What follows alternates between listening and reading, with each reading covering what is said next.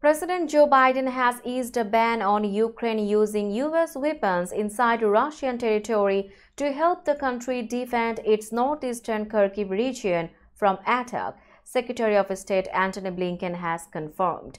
Speaking at a news conference in Prague after an informal meeting of NATO ministers on Friday, Blinken said that Biden's approval came after Kiev sought authorization from Washington in recent weeks, and that went right to the president. And as you have heard, he has approved use of our weapons for that purpose. Going forward, we will continue to do what we have been doing which is as necessary adopt and adjust, Blinken added. He also noted that Washington's move marked a change in policy by Biden, who had previously refused to allow Ukraine to use American weaponry for strikes inside Russia.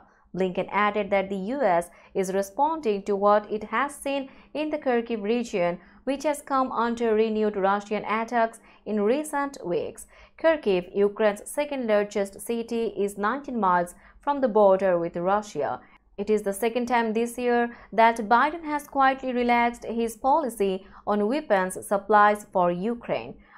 Earlier this year, he agreed to send long-range missiles known as ATACMS to Kiev.